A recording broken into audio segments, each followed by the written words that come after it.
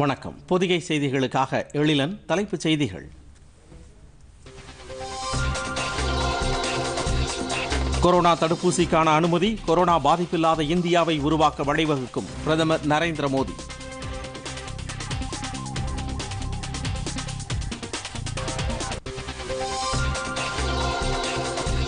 தேசிய அளவியல் மாநாட்டை இன்று தொடங்கி வைக்கிறார் பிரதமர் நரேந்திர மோடி. தேசிய அணுகால அளவு நடைமுறையையும் நாட்டிற்கு அர்ப்பணிக்கிறார்.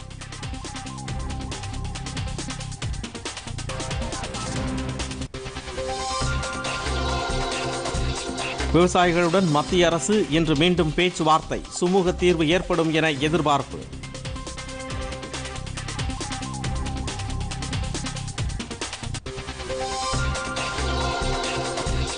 சென்னை உயர்நீதிமன்றத்தின் புதிய தலைமை நீதிபதியாக இன்று பொறுப்பேற்கிறார் சஞ்சீப் பானர்ஜி. ஆளுநர் பன்வாரிலால் புரோஹித் பதவி பிரமாணம் செய்து வைக்கிறார்.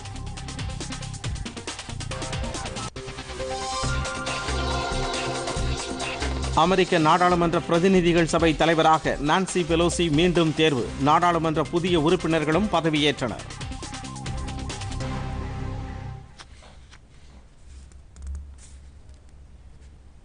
விரிவான செய்திகள். கொரோனா பெருந்தொற்றுக்கு எதிரான தடுப்பூசிகளை அவசரகால தேவைக்கு பயன்படுத்த இந்திய மருந்து கட்டுப்பாட்டு தலைமை இயக்குனர் அனுமதி அளித்திருப்பது கொரோனா பாதிப்பு இல்லாத இந்தியாவை உருவாக்க வழிவகுக்கும் என பிரதமர் நரேந்திர மோடி தெரிவித்துள்ளார். உலகம் முழுவதும் பெரும் பாதிப்பை ஏற்படுத்தியுள்ள கொரோனாவை கட்டுப்படுத்த புனேயில் உள்ள சீரம் நிறுவனம் தயாரித்துள்ள கோவிஷீல்டு மற்றும் ஹைதராபாத்தைச் சேர்ந்த பாரத் பயோடெக் நிறுவனத்தின் கோவாக்சின் தடுப்பூசிகளை பயன்படுத்த மருந்து கட்டுப்பாட்டு தலைமை இயக்குனர் நேற்று அனுமதி அளித்துள்ளார். இதுகுறித்து பிரதமர் நரேந்திர மோடி வெளியிட்டுள்ள ட்விட்டர் பதிவில் தடுப்பூசிகளை பயன்படுத்த அனுமதி அளிக்கப்பட்டிருப்பது ஆரோக்கியமான மற்றும் கொரோனா தொற்று பாதிப்பு இல்லாத இந்தியாவை உருவாக்குவதற்கான பணிகளை விரைவுபடுத்தும் என்று குறிப்பிட்டுள்ளார். இந்த தடுப்பூசிகளை உருவாக்க அரும்பாடுபட்ட விஞ்ஞானிகளுக்கும் அவர் பாராட்டு தெரிவித்துள்ளார்.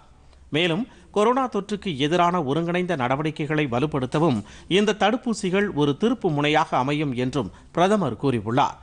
கொரோனாவுக்கான தடுப்பூசிகள் இந்தியாவிலேயே தயாரிக்கப்பட்டிருப்பது சுயசார்பு இந்தியாவை அடைவதற்கான கனவுகளை நிறைவேற்றுவதில் இந்திய விஞ்ஞானிகளின் ஆர்வத்தை பிரதிபலிப்பதாக உள்ளது என்றும் பிரதமர் தெரிவித்துள்ளார். இதனிடையே கோவிஷீல்டு தடுப்பூசியை வரும் வாரங்களில் பொதுமக்கள் பயன்பாட்டிற்கு வெளியிட தயாராக இருப்பதாக சீரம் நிறுவனத்தின் தலைவர் ஆதர் பூனபாலா தெரிவித்துள்ளார். தடுப்பூசி தயாரிப்பில் மத்திய அரசு அளித்து வரும் ஒத்துழைப்பிற்காக பிரதமருக்கு நன்றி தெரிவித்துள்ள அவர் கோவிஷீல்டு தடுப்பூசி மிகவும் பாதுகாப்பானதோடு மட்டுமின்றி திறன்மிக்கது என்றும் கூறியுள்ளார். இந்த தடுப்பூசியை பயன்படுத்துவதற்கான அதிகாரப்பூர்வ உரிமம் கிடைத்தவுடன் தாம் அதனை செலுத்திக் கொள்ளவிருப்பதாகவும் ஆதர் பூனவாலா தெரிவித்துள்ளார். அத்துடன் இந்த தடுப்பூசியை இப்போதைக்கு தனியார் சந்தைகளில் விற்பனை செய்யப்படவோ வெளிநாடுகளுக்கு ஏற்றுமதி செய்யப்படவோ மாட்டாது என்றும் அவர் தெளிவுபடுத்தியுள்ளார். கொரோனா பெருந்தொற்றுக்கான தடுப்பூசியை தயாரிப்பதில் முழு முனைப்புடன் செயல்பட்ட திறமை மிக்க விஞ்ஞானிகளின் கடின உழைப்பு நாட்டிற்கு பெருமிதம் தேடி தந்திருப்பதாக மத்திய உள்துறை அமைச்சர் அமித்ஷா கூறியுள்ளார். இதுகுறித்து அவர் வெளியிட்டுள்ள ட்விட்டர் பதிவில் இந்த விஞ்ஞானிகளுக்கு தமது வாழ்த்துக்களை தெரிவித்துக் கொண்டுள்ளார். கொரோனா இல்லாத இந்தியாவை உருவாக்கும் நோக்குடன் செயல்பட்டு வரும் பிரதமர் நரேந்திர மோடிக்கும் அமித்ஷா பாராட்டு தெரிவித்துள்ளார். பிரதமரின் தொலைநோக்குடன் கூடிய தலைமை பண்பு காரணமாக நெருக்கடியான காலகட்டத்திலும் மனித குலத்திற்கு உதவும் விதமாக புதிய கண்டுபிடிப்புகளை மேற்கொள்வதில் புதிய இந்தியா ஆர்வமுடன் இருப்பதை காண முடிவதாகவும் அவர் குறிப்பிட்டுள்ளார். மத்திய சுகாதாரத்துறை அமைச்சர் ஹர்ஷ்வர்தன் வெளியிட்டுள்ள செய்தி இந்த தடுப்பு ஊசிகள் தயாரிப்பு கொரோனாவுக்கு எதிரான இந்தியாவின் நடவடிக்கைகளில் அழிக்க முடியாத ஒரு தருணம் என்று குறிப்பிட்டுள்ளார். மேலும் இந்த தடுப்பூசிகள் கொரோனா முன்கள பணியாளர்களுக்கு உரிய மரியாதை செலுத்துவதாக அமைந்துள்ளன என்றும் அவர் கூறியுள்ளார்.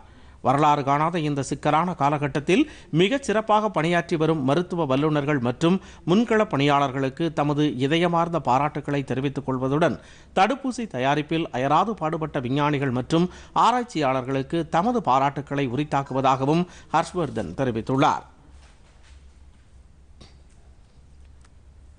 தேசிய அளவில் அளவியல் மாநாட்டில் பிரதமர் நரேந்திர மோடி இன்று காணொலி காட்சி மூலம் பங்கேற்க உள்ளார் நிகழ்ச்சியின் போது தேசிய அணுகால அளவு மற்றும் பாரதிய நிர்தேஷ் திரவியா ஆகியவற்றை பிரதமர் நாட்டிற்கு அர்ப்பணிக்கிறார்.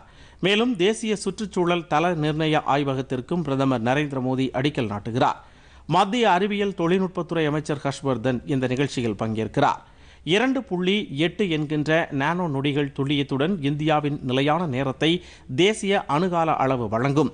சர்வதேச தரத்திற்கு இணையான ஆய்வகங்களின் பரிசோதனை மற்றும் மேம்பாட்டிற்கு பாரதிய நிர்தேஷக் திரவியா ஆதரவளிக்கும் மேலும் காற்று மற்றும் தொழிற்சாலை மாசு கண்காணிப்பு தளவாடங்களின் சான்றளிப்பில் தற்சார்பை அடைவதற்கு தேசிய சுற்றுச்சூழல் தள நிர்ணய ஆய்வகம் உதவும். கொச்சி மங்களூரு இடையேயான குழாய் வழி எரிவாயு திட்டத்தை பிரதமர் நரேந்திர மோடி நாளை காணொலி காட்சி மூலம் நாட்டிற்கு அர்ப்பணிக்கிறார். கர்நாடக மற்றும் கேரளா மாநிலங்களின் ஆளுநர்கள் முதலமைச்சர்கள் மற்றும் மத்திய அமைச்சர்கள் இந்நிகழ்ச்சியில் கலந்து கொள்கிறார்கள். ஒரே நாடு ஒரே எரிவாயு தொகுப்பு என்ற கொள்கையை உருவாக்குவதில் இந்த திட்டம் புதிய மைல்கல்லாக இருக்கும் என்று எதிர்பார்க்கப்படுகிறது.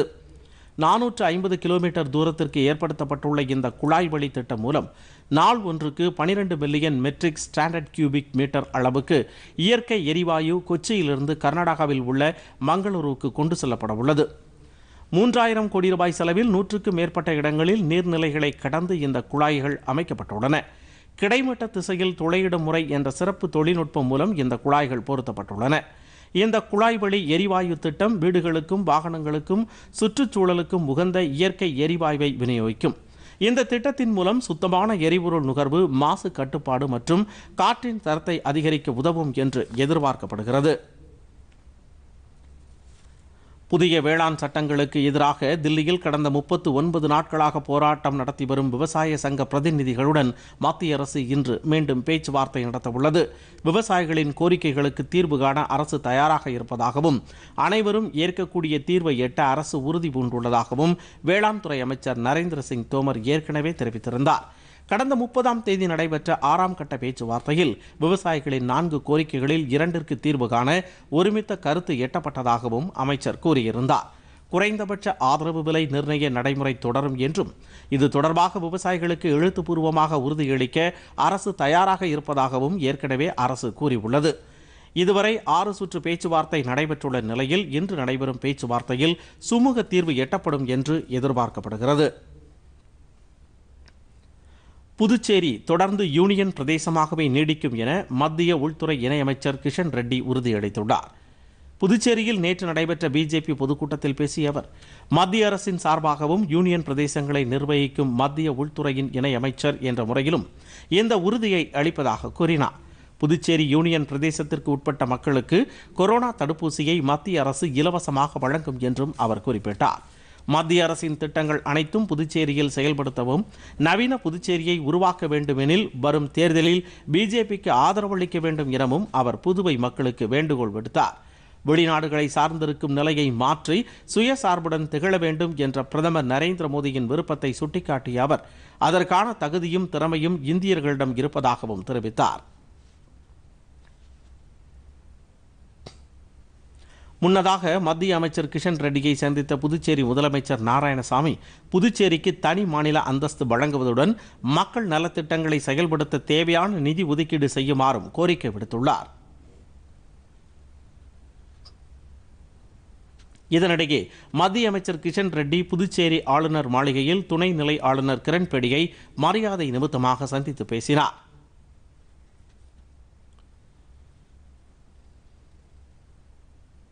தூர்தர்ஷன் மற்றும் அகில இந்திய வானொலியின் டிஜிட்டல் அலைவரிசைகள் கடந்த ஆண்டில் நூறு சதவீத வளர்ச்சி அடைந்துள்ளதாக தகவல் ஒலிபரப்புத்துறை அமைச்சகம் தெரிவித்துள்ளது.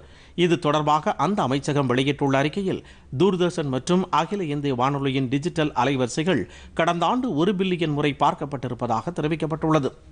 நியூஸ் ஆன் ஏர் செயலியை இருபத்தி ஐந்து லட்சம் பேர் பயன்படுத்துவதாகவும் கடந்த ஆண்டில் நேரலையில் நிகழ்ச்சிகளை கேட்பவர்களின் எண்ணிக்கை அதிகரித்திருப்பதாகவும் அதில் கூறப்பட்டுள்ளது. தூர்தர்ஷன் மற்றும் ஆகாஷவாணி விளையாட்டு டிஜிட்டல் அலைவரிசைகளுக்கு அதிக அளவு நேர்கள் இருப்பதாகவும் அதில் குறிப்பிடப்பட்டுள்ளது. டிடி கிசான் டிஜிட்டல் தளம் முதல் பத்து இடங்களுக்குள் இருப்பதாகவும் அமைச்சகத்தின் அறிக்கை தெரிவிக்கிறது. வடகிழக்கு மாநிலங்களுக்கான அகில இந்திய வானொலி செய்தி சேவையும் அதிக நேர்களை கொண்டிருப்பதாகவும் இதன் டிஜிட்டல் தளத்தில் பத்து லட்சத்திற்கும் அதிகமான சந்தாதாரர்கள் இருப்பதாகவும் அதில் கூறப்பட்டுள்ளது. கடந்த ஆண்டில் பிர- பிரதமர் நரேந்திர மோடி மாணவர்களுடன் கலந்துரையாடிய நிகழ்ச்சி டிஜிட்டல் தளங்களில் அதிகம் பார்வையிடப்பட்டுள்ளது. குடியரசு தின அணிவகுப்பு உள்ளிட்டவையும் அதிக அளவில் பார்வையிடப்பட்டுள்ளன. பிரதமரின் மன் கி பாத் உரை நிகழ்ச்சிகளுக்கான சிறப்பு யூடியூப் அலைவரிசையும் ட்விட்டர் பக்கமும் மிக அதிக அளவில் சந்தாதாரர்களை கொண்டுள்ளதாகவும் தகவல் ஒலிபரப்புத்துறை அமைச்சகத்தின் அறிக்கையில் குறிப்பிடப்பட்டுள்ளது. நாட்டில் ஆயிரத்து ஐநூறுக்கும் மேற்பட்ட வானொலி நிலையங்கள் உள்ளதாகவும் அவற்றின் நிகழ்ச்சிகள் அனைத்தும் டிஜிட்டல் மற்றும் யூடியூப் அலைவரிசைகளில் ஒலிபரப்பு செய்யப்படுவதாகவும் அந்த அமைச்சகம் கூறியுள்ளது. இந்தியாவுக்கு அடுத்தபடியாக பாகிஸ்தான் தூர்தர்ஷன் மற்றும் அகில இந்திய வானொலியின் டிஜிட்டல் சேவைகளுக்கு அதிக நேர்கள் இருப்பதாகவும் அந்த அறிக்கையில் தெரிவிக்கப்பட்டுள்ளது. தூர்தர்ஷன் மற்றும் அகில இந்திய வானொலியிடம் உள்ள அரிய ஒளி ஒலி பதிவுகள் டிஜிட்டல் மயமாக்கப்பட்டு பிரசார் பாரதியின் யூடியூப் அலைவரிசையில் பதிவேற்றம் செய்யப்படும் எனவும் தகவல் ஒலிபரப்பு அமைச்சகம் தெரிவித்துள்ளது.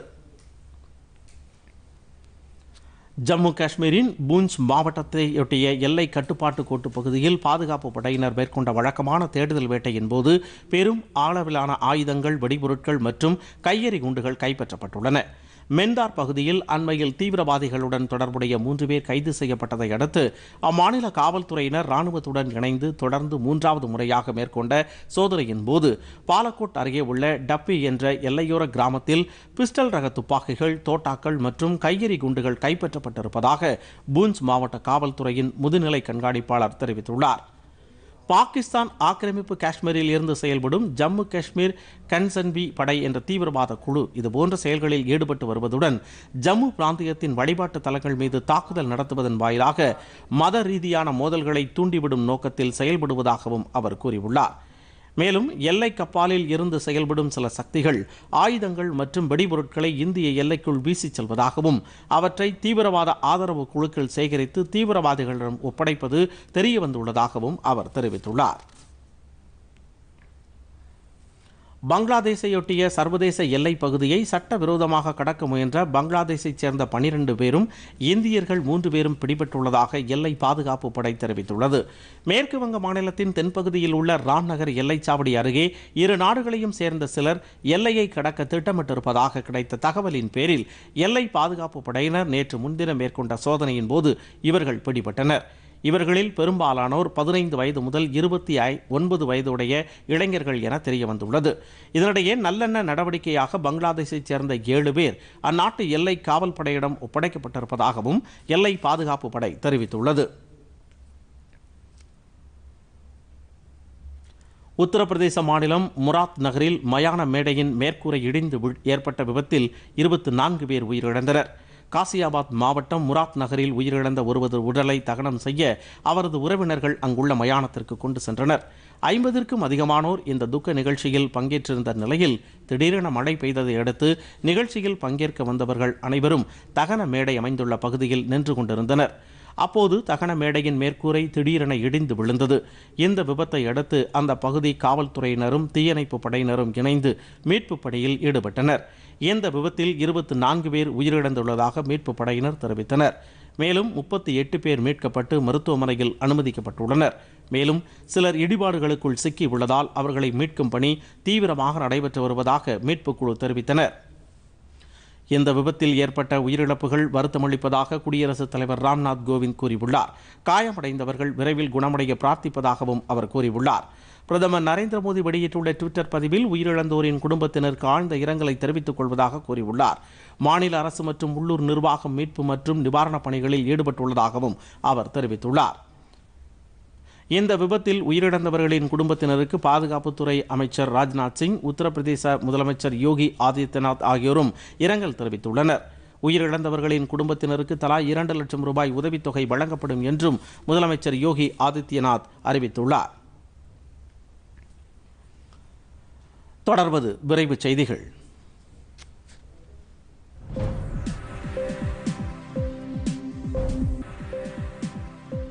சென்னை உயர்நீதிமன்றத்தின் புதிய தலைமை நீதிபதியாக சஞ்சீப் பானர்ஜி இன்று பொறுப்பேற்க உள்ளார்.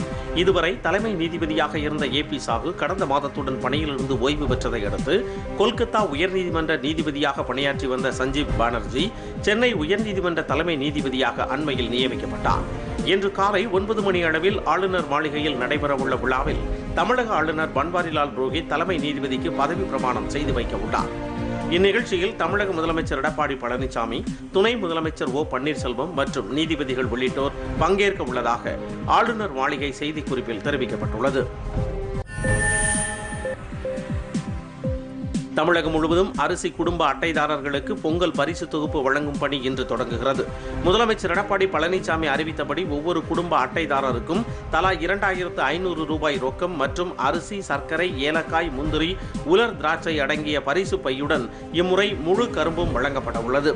குடும்ப அட்டைதாரர்கள் ஏற்கனவே வழங்கப்பட்டுள்ள டோக்கனில் குறிப்பிடப்பட்டுள்ள தேதியில் தத்தமது நியாய விலை கடைகளுக்கு சென்று பொங்கல் பரிசு தொகுப்பை பெற்றுக்கொள்ளலாம்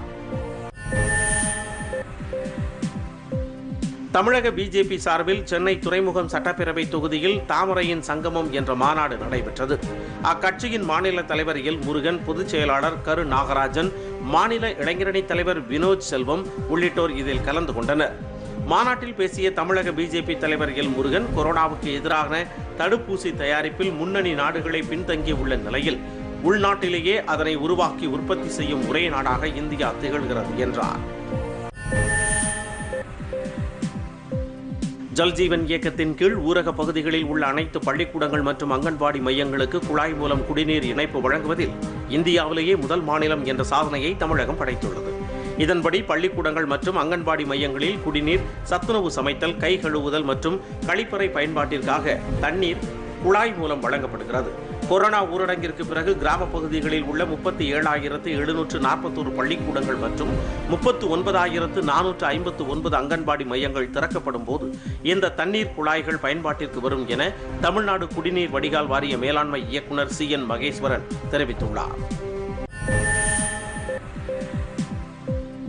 சென்னை மெட்ரோ ரயில் நிறுவனத்தின் சார்பில் கொரோனா தொற்று பரவல் தடுப்பு குறித்த விழிப்புணர்வு கலை நிகழ்ச்சிகள் திருமங்கலம் மெட்ரோ ரயில் நிலையத்தில் நடைபெற்றது. பொதுமக்கள் மற்றும் மெட்ரோ ரயில் பயணிகளுக்கு விழிப்புணர்வை ஏற்படுத்துவதுடன் மெட்ரோ ரயில் பயணம் எந்த அளவுக்கு பாதுகாப்பானது என்பதை எடுத்துரைக்கும் விதமாக இந்த விழிப்புணர்வு நிகழ்ச்சிக்கு ஏற்பாடு செய்யப்பட்டிருந்தது. நிமிர்வு கலையகம் என்ற அமைப்புடன் இணைந்து மெட்ரோ ரயில் நிறுவனம் நடத்திய இந்த விழிப்புணர்வு நிகழ்ச்சியில் தப்பாட்டம் கலையாட்டம் போன்ற கிராமப்புற கலைகள் மூலம் பயணிகளுக்கு விழிப்புணர்வு ஏற்படுத்தப்பட்டது. ஒடிசா மாநிலம் பூரியில் உள்ள பிரசித்தி பெற்ற ஜெகநாதர் ஆலயத்தில் நேற்று முதல் பக்தர்களின் வழிபாட்டிற்கு அனுமதி அளிக்கப்பட்டுள்ளது. கொரோனா ஊரடங்கு காரணமாக விதிக்கப்பட்ட கட்டுப்பாடுகள் படிப்படியாக தளர்த்தப்பட்டு வரும் நிலையில் பூரி ஜெகநாதர் ஆலயம் நேற்று வழிபாட்டிற்கு திறக்கப்பட்டது. கொரோனா தொற்று பாதிப்பு இல்லை என்ற சான்றிதழ் மற்றும் ஆதார் அட்டையுடன் வரும் பக்தர்கள் மட்டுமே தரிசனத்திற்கு அனுமதிக்கப்படுகின்றனர். இந்த நடைமுறைகளை சரியாக பின்பற்றுவதுடன் பக்தர்களை கட்டுப்படுத்தும் பணியை அம்மாநில சிறப்பு காவல் படையினர் பதினைந்து அணிகள் சேர்ந்த காவலர்கள் பணியில் ஈடுபடுத்தப்பட்டுள்ளனர்.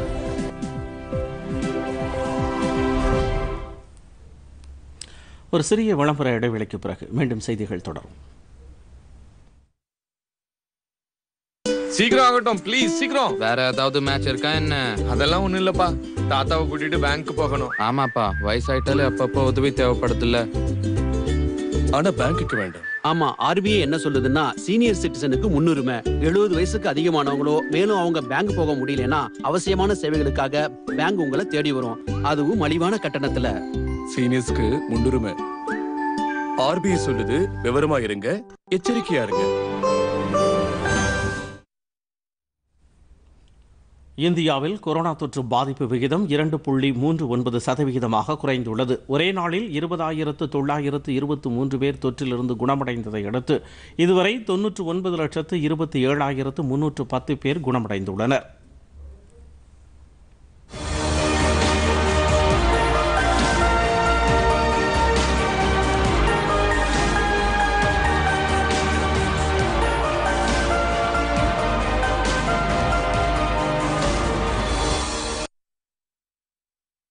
கொரோனா தொற்றால் நாடு முழுவதும் பாதிக்கப்படுவோர் விகிதம் மத்திய அரசின் தீவிர நடவடிக்கையால் இரண்டு புள்ளி நான்கு சதவிகிதத்திற்கும் கீழ் குறைந்துள்ளது.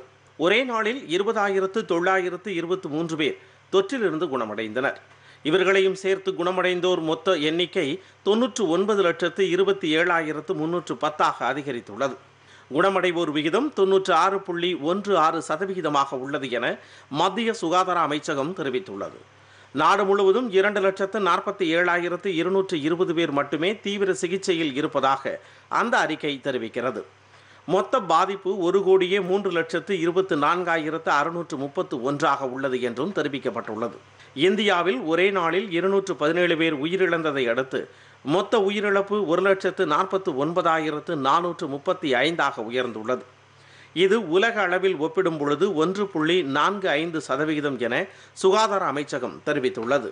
தமிழகத்தில் கொரோனா தொற்றிலிருந்து ஆயிரத்து இரண்டு பேர் குணமடைந்துள்ளனர். புதிதாக எண்ணூற்று அறுபத்தி ஏழு பேருக்கு தொற்று உறுதி செய்யப்பட்டுள்ளதாக மக்கள் நல்வாழ்வுத்துறை வெளியிட்டுள்ள அறிக்கையில் தெரிவிக்கப்பட்டுள்ளது. தமிழகத்தில் கொரோனா தொற்றால் பாதிக்கப்பட்டோரின் எண்ணிக்கை எட்டு லட்சத்து இருபதாயிரத்து எழுநூற்று பனிரெண்டாக அதிகரித்துள்ளது. இதில் எட்டு லட்சத்து நானூற்று இருபத்தி ஒன்பது பேர் குணமடைந்து வீடு திரும்பியுள்ளனர்.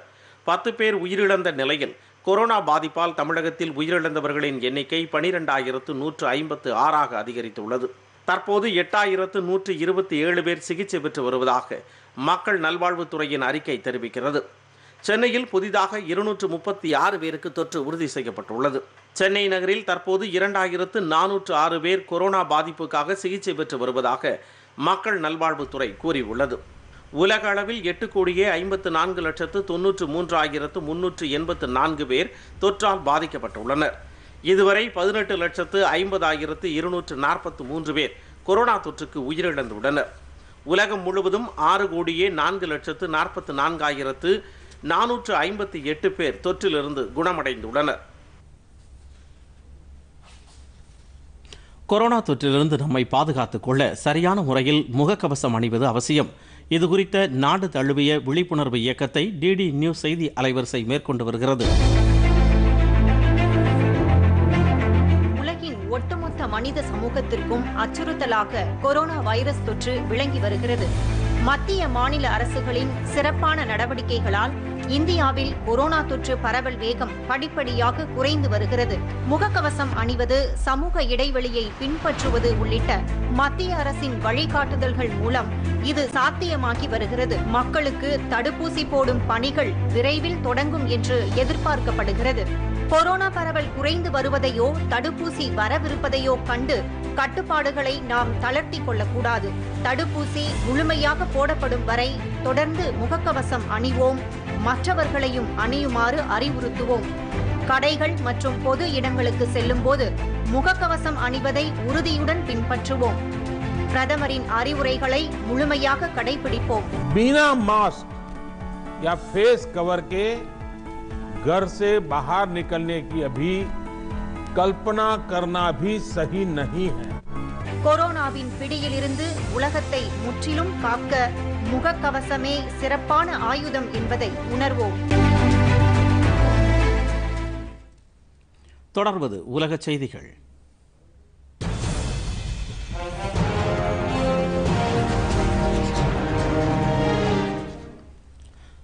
அமெரிக்க நாடாளுமன்ற பிரதிநிதிகள் சபையின் தலைவராக நான்சி பெலோசி மீண்டும் தேர்ந்தெடுக்கப்பட்டுள்ளார். இதற்காக தேர்தலில் நான்சி பெலோசிக்கு இருநூற்று பதினாறு வாக்குகளும் அவரை எதிர்த்து போட்டியிட்ட கெவின் மெக்கார்த்திக்கிற்கு இருபத்தி ஒன்பது இருநூற்று ஒன்பது ஓட்டுகளும் கிடைத்துள்ளன. ஜனநாயக கட்சி சார்பில் பதினேழு ஆண்டுகள் நாடாளுமன்றத்தில் அங்கம் வகித்துள்ள நான்சி ஃபெலோசி அந்நாட்டு நாடாளுமன்ற சபாநாயகராக தேர்வு செய்யப்பட்ட முதல் பெண்மணி என்ற சிறப்பை பெற்றவராவார். தாம் மீண்டும் தேர்வு செய்யப்பட்டிருப்பது குறித்து கருத்து தெரிவித்துள்ள நான்சி ஃபெலோசி இதுவே தமது கடைசி பதவி காலமாக இருக்கும் என்றும் தெரிவித்துள்ளார்.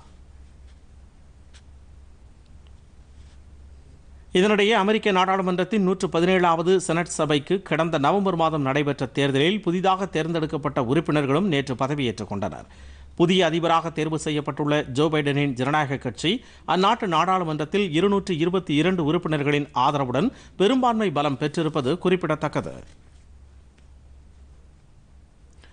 அமெரிக்க அதிபர் டொனால்ட் ட்ரம்ப் அதிபர் தேர்தல் வாக்கு எண்ணிக்கையில் தமக்கு சாதகமாக முறைகேடு செய்யும்படி ஜார்ஜியா மாகாணத்தைச் சேர்ந்த உயர் தேர்தல் அதிகாரிக்கு நெருக்கடி கொடுத்தது தெரிய வந்துள்ளது. அண்மையில் நடந்து முடிந்த அமெரிக்க அதிபர் தேர்தலில் குடியரசுக் கட்சி சார்பில் இரண்டாவது முறையாக போட்டியிட்ட தற்போதைய அதிபர் டொனால்ட் ட்ரம்ப் ஜனநாயக கட்சியின் ஜோ பைடனிடம் வெற்றி வாய்ப்பை இழந்தார். இந்நிலையில் தேர்தல் சபை வாக்குகளில் அதிக வாக்குகளை கொண்ட ஜார்ஜியா மாகாணத்தில் தமக்கு சாதகமாக முடிவுகளை அறிவிக்குமாறு அதிபர் ட்ரம்ப் அம்மாகாண அம்மாகாண தேர்தல் அதிகாரிக்கு நெருக்கடி கொடுத்ததாக வாஷிங்டன் போஸ்ட் நாளிதழ் செய்தி வெளியிட்டுள்ளது. இது தொடர்பாக அதிபர் ட்ரம்ப் பிராட் ரெஃப்ரின்பெர்ஜெட் என்பவருடன் நடத்திய உரையாடலில் தமக்கு பதினோராயிரத்து எழுநூற்று எண்பது வாக்குகள் மட்டுமே தேவைப்படுவதாகவும் அது கிடைத்தால் தாம் வெற்றி பெறலாம் என்பதால் முடிவுகளை தமக்கு சாதகமாக திருத்தும்படி பேசியிருப்பது சர்ச்சையை ஏற்படுத்தியுள்ளது. அமெரிக்க உளவு ரகசியங்களை வெளியிட்ட குற்றச்சாட்டுக்கு ஆளாக இங்கிலாந்தில் தஞ்சமடைந்துள்ள விக்கி லீக்ஸ் இணையதள அதிபர் ஜூலியன் அசாஞ்சேவை அமெரிக்காவுக்கு நாடு கடத்துவது தொடர்பான வழக்கில் இங்கிலாந்து நீதிமன்றம் இன்று தீர்ப்பளிக்க உள்ளது ஈராக் மற்றும் ஆப்கானிஸ்தானில் அமெரிக்க படைகள் நடத்திய தாக்குதல் தொடர்பாக அந்நாட்டு உளவு அமைப்பின் ரகசிய தகவல்களை கடந்த இரண்டாயிரத்து பத்தாம் ஆண்டு வாக்கில் விக்கிலீக்ஸ் இணையதளம் வெளியிட்டதாக அதன் நிறுவர் ஜூலியன் அசாஞ்சே மீது குற்றம் சாட்டப்பட்டது. இதையடுத்து அவர் இங்கிலாந்திற்கு தப்பிச் சென்று அந்நாட்டில் தஞ்சமடைந்துள்ளார். ஆனால் அவரை வழக்கு விசாரணைக்காக அமெரிக்காவுக்கு திருப்பி அனுப்ப கோரி தொடரப்பட்ட வழக்கு லண்டன் ஓல்ட் பெய்லி நீதி மாவட்ட நீதிமன்றத்தில் நடைபெற்று வருகிறது. இந்த வழக்கில் நீதிபதி வனசா பட்சேர் இன்று தீர்ப்பளிக்க உள்ளார். ஜூலியன் அசாஞ்சே மீதான பதினேழு உளவு தகவல் திருட்டு மற்றும் கணினியை தவறாக பயன்படுத்தியது உள்ளிட்ட குற்றச்சாட்டுகள் அமெரிக்க நீதிமன்றத்தில் உறுதி செய்யப்பட்டால் அவருக்கு அதிகபட்சமாக நூற்று எழுபத்தி ஐந்து ஆண்டுகள் வரை சிறை தண்டனை விதிக்க வாய்ப்புள்ளதாக தகவல்கள் தெரிவிக்கின்றன. அமெரிக்க படைகளுடன் செய்து கொண்டிருப்பது போல ஆப்கானிஸ்தான் படைகளுக்கு எதிராக தாக்குதல் நடத்துவதில்லை என்று உடன்பாடு செய்து கொள்ள தயாராக இருப்பதாக தாலிபான் தீவிரவாத அமைப்பு தெரிவித்துள்ளது. ஆப்கானிஸ்தானை தங்களது கட்டுப்பாட்டில் வைத்திருந்த அமெரிக்க கூட்டுப்படைகள் அந்நாட்டை விட்டு வெளியேறும்போது அமெரிக்காவுக்கு எதிராக எவ்வித தாக்குதலிலும் ஈடுபடுவதில்லை என தாலிபான் அமைப்பு உடன்படிக்கை செய்து கொண்டது. எனினும் ஆப்கானிஸ்தான் படைகளுக்கு எதிராக அந்த அமைப்பு தொடர்ந்து தாக்குதல் நடத்தி வருகிறது. இந்நிலையில் அமெரிக்காவுடன் செய்து கொண்டதைப் போல ஆப்கானிஸ்தான் படைகளுக்கு எதிராகவும் தாக்குதல் நடத்துவதில்லை என்ற உடன்படிக்கை செய்து கொள்ள தயாராக இருப்பதாக தாலிபான் அமைப்பின் செய்தி தொடர்பாளர் சபியுல்லா முஜாஹிதி தெரிவித்துள்ளார். கத்தார் நாட்டு தலைநகர் தோஹாவில் தாலிபான் பிரதிநிதிகளுடன் இன்று பேச்சுவார்த்தை நடத்துவதாக ஆப்கன் அரசு பிரதிநிதிகள் தோஹா சென்றுள்ள நிலையில் தாலிபான் தீவிரவாதிகளின் இந்த அறிவிப்பு முக்கியத்துவம் வாய்ந்ததாக கருதப்படுகிறது. பாகிஸ்தானில் பலுஜிஸ்தான் மாகாணத்தில் அந்நாட்டு அரசின் அடக்குமுறைகளுக்கு எதிராக போராடி வந்த கரிமா பலூச் மரணத்திற்கு நீதி கோரி ஒன்றிணைந்து போராட்டம் நடத்த சிந்து மற்றும் பலூஜ் அமைப்புகள் முடிவு செய்துள்ளன. பாகிஸ்தான் அரசின் நடவடிக்கைகளை எதிர்த்து இதற்கு குரல் கொடுத்து வந்த கரிமா பலூச் கனடாவின் டொரண்டாவில் மர்மமான முறையில் உயிரிழந்தார். இதுகுறித்து சுதந்திரமான முழுமையான விசாரணை நடத்தி கரிமாவின் மரணத்திற்கு காரணமானவர்கள் மீது நடவடிக்கை எடுக்க வேண்டும் என்று சிந்தி பலூஜ் அமைப்பு வலியுறுத்தி வருகிறது. இது தொடர்பாக நடைபெற்ற இணையவழி கூட்டம் ஒன்றில் பேசிய சிந்தி பலூச் செயல்பாட்டாளர்கள் பல்ஜிஸ்தான் மனித உரிமைகளை ஒடுக்குவதில் பாகிஸ்தான் அரசு கொடூரமான முறையில் நடந்து கொள்வதாக குற்றம் சாட்டினார். தொடர்வது விளையாட்டுச் செய்திகள்.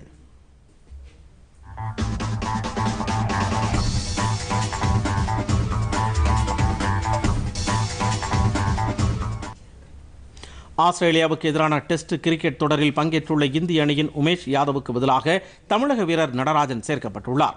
ஆஸ்திரேலியாவுக்கு எதிராக ஒருநாள் மற்றும் டெஸ்ட் போட்டித் தொடரில் பங்கேற்பதற்காக சென்றுள்ள இந்திய கிரிக்கெட் அணி ஒருநாள் தொடரை இழந்த நிலையில் டெஸ்ட் தொடரில் இதுவரை நடைபெற்ற இரண்டு போட்டிகளில் இரு அணிகளும் தலா ஒரு போட்டியில் வெற்றி பெற்று சமநிலையில் உள்ளன. இந்நிலையில் மூன்றாவது டெஸ்ட் போட்டி வரும் ஏழாம் தேதி தொடங்க உள்ள நிலையில் இந்திய அணியில் மாற்றம் செய்யப்பட்டுள்ளது. இதன்படி அணியில் ஏற்கனவே இடம்பெற்றிருந்த உமேஷ் யாதவுக்கு பதிலாக தமிழக வீரர் டி நடராஜன் அணியில் சேர்க்கப்பட்டுள்ளதாக இந்திய கிரிக்கெட் கட்டுப்பாட்டு வாரியம் அறிவித்துள்ளது.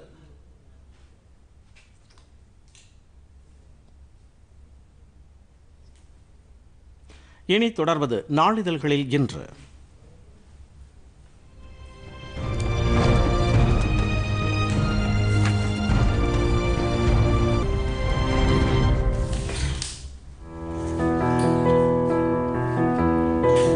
கொரோனா கட்டுப்பாடு தளர்த்தப்பட்ட நிலையில் விடுமுறை தினமான நேற்று மாமல்லபுரத்தில் மழையையும் பொருட்படுத்தாமல் சுற்றுலா பயணிகள் குவிந்தனர். தினத்தந்தி. டெல்டா பாசனத்திற்காக கூடுதல் தண்ணீர் திறந்து விடப்படுவதை அடுத்து மேட்டூர் கதவணைகளில் நீர்மின் உற்பத்தி அதிகரித்துள்ளது. தினமணி.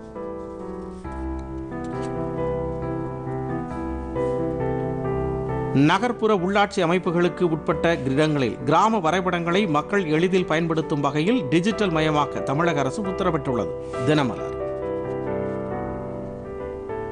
தென் பிராந்திய ராணுவ தலைமை தளபதியாக தமிழகத்தைச் சேர்ந்தவரான லெப்டினன்ட் ஜெனரல் அருண் நேற்று பொறுப்பேற்றுக் கொண்டார் தினகரன். லஞ்ச ஊழல் வழக்குகளில் சிக்கிய தமிழக அரசு அதிகாரிகள் நூற்றி இரண்டு பேரை சஸ்பெண்ட் செய்ய தமிழக அரசுக்கு பரிந்துரை செய்யப்பட்டுள்ளது. இந்து தமிழ் திசை.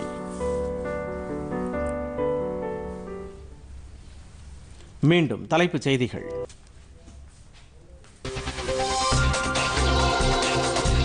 கொரோனா தடுப்பூசிக்கான அனுமதி. கொரோனா பாதிப்பில்லாத இந்தியாவை உருவாக்க வழிவகுக்கும் பிரதமர் நரேந்திர மோடி.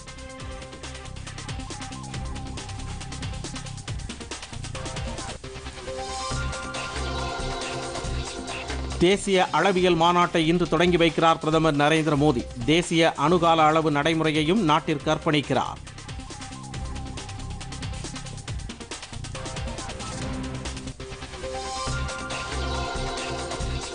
விவசாயிகளுடன் மத்திய அரசு இன்று மீண்டும் பேச்சுவார்த்தை. சுமூக தீர்வு எட்டப்படும் என எதிர்பார்ப்பு.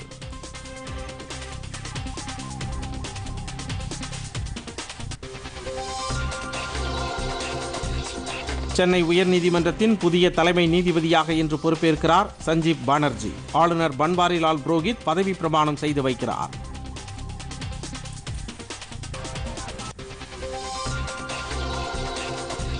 அமெரிக்க நாடாளுமன்ற பிரதிநிதிகள் சபை தலைவராக நான்சி பெலோசி மீண்டும் தேர்வு. நாடாளுமன்ற புதிய உறுப்பினர்களும் பதவியேற்றனர்.